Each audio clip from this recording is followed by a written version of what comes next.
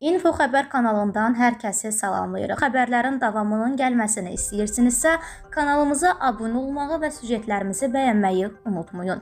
İndi isə keçək xəbərə.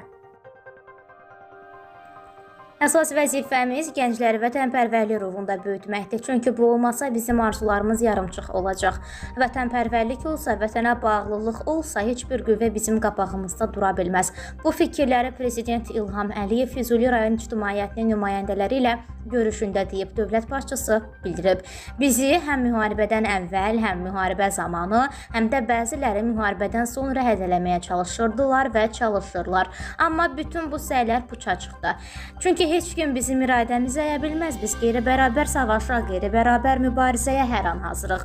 Ölümə getməyə hazırıq, amma öz ləyaqətimizi, öz qürurumuzu, öz müstəqilliyimizi heç kimə güzəştə getməyəcəyik. Bunu hər kəs bilsin.